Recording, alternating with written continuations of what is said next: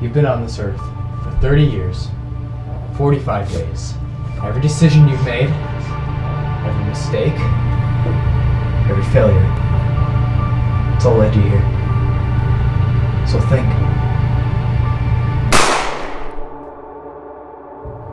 Why are you here?